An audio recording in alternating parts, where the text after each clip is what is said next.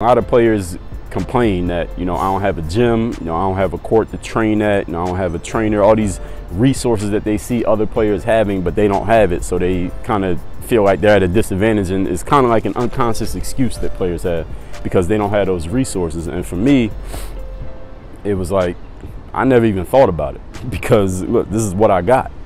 Yeah, there's players out there who got a gym. Listen, there was players who lived on my block who had access to the gym because they were on the team and they would have practice and they could practice in the gym.